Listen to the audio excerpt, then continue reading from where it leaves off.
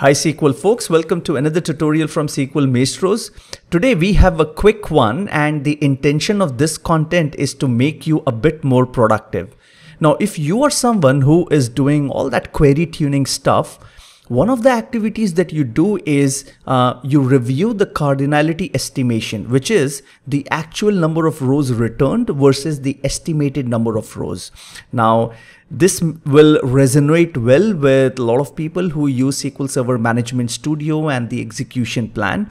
And when the query is taking a lot of time to execute, you jump over to the execution plan and then you try to figure out tuning opportunities inside the execution plan. We do a lot of things there. And one of the things that we do is take the cursor over the arrows and even on the iterators to just see the actuals versus the estimations. And this is where we try to find out if there is a huge gap between the actual number of rows versus the estimated number of rows. Then we of course investigate further to see why the cardinality estimation went wrong, where the stats not up to date, so on and so forth. However, what I find is if the execution plan is big and then we try to do this activity manually by checking each iterator and the arrow uh, between the iterators, it becomes a bit cumbersome. Okay, let me explain what I mean. If you look at this query, it's just a, it's just a made up query. I just wanted to write something to make a, a kind of a slightly bigger execution plan. So let's just turn on the actual execution plan and let's execute the query jump over to the execution plan. Now, if you have an execution plan here with a long tree, like, you know, it keeps going down and you can always right click and then choose, choose, uh, where is that option? Okay, zoom to fit, yeah. And then of course it gets even smaller and then you take your cursor over the arrows just to see where things are going wrong uh, in terms of actuals versus estimations, something like this, actual number of rows versus estimations there could have been a better way to find this out and that's where the show plan uh, is really helpful. The, the same output which you get in text format. So i'm just going to quickly show how that works. And maybe that is more useful when you're just dealing with cardinality estimations. Okay? For other um, and and for other things also i mean let's look at the output and see how useful that could be. Okay, just let's scroll down a bit here and do, let's do this one. So I'm going to get this output with set statistics profile on. So what I'm going to do is execute the query and uh, before that we'll turn on this set statistics profile on and then after the query executes we'll turn this off. What this is going to do is give you the ex execution plan in textual format just after the result set. Okay, let's go and do this. So the graphical execution plan is also turned on. We'll look at both of them. Now let's go and execute this one. Now this one, I've purposely written this expression here because you will get a bad estimation there simply because the stats do not have information about the, I mean the right, uh, the right estimates are not up there for this expression. So let's jump over to the execution plan. And if you take the cursor over the arrow between select and filter, you can see the actual, oops, let's do this once more. You can see the actual number of rows is 772 and the estimation is 36395.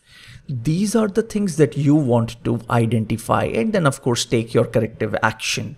Now, Again, if this was a plan like what you saw earlier and even bigger, then this becomes very cumbersome.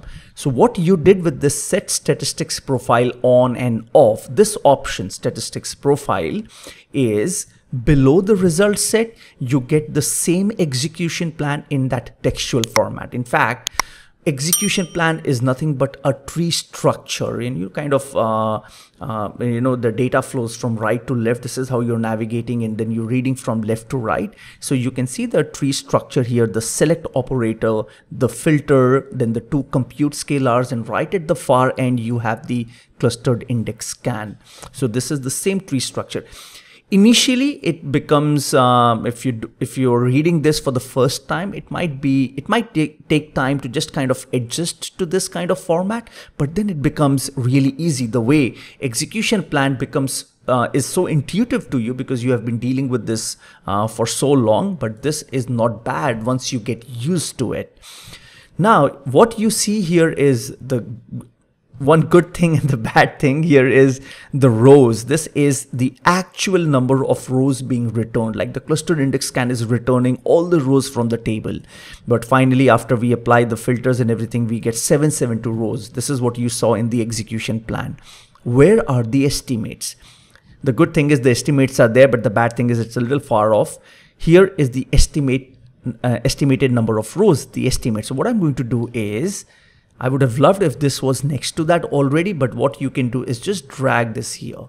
Now, this is beautiful. This is what I want. If this was a huge execution plan, you would get everything serially arranged like row number one all the way down. So like the select operator right on top and the last operator at the end. And then you can compare. It just becomes so easy to observe the difference between actual number of rows and estimated number of rows. Now here I know, okay, uh, this is, this catches my attention, right? Because until this point, it's all okay. Here, um, it catches my attention at the filter level where the estimates uh, are like, uh, you know, 36,000 something and actually 772.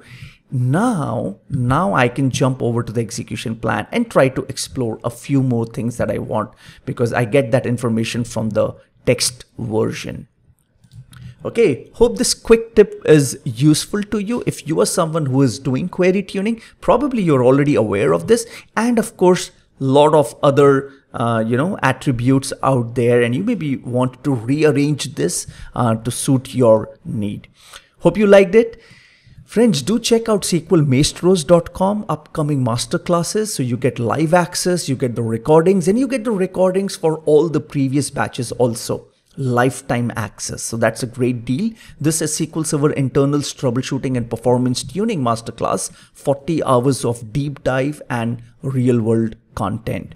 And of course, SQLmaestros.com has premium membership, the free video lobby, the premium lobby, all the recorded webinars, video courses, and the all-in-one bundle check out all of that. If you want the masterclass to be delivered for a group of people, for your team members, drop an email to contact at sqlmaestros.com. Someone from the team will revert promptly. All right, friends, enjoy. Happy SQL.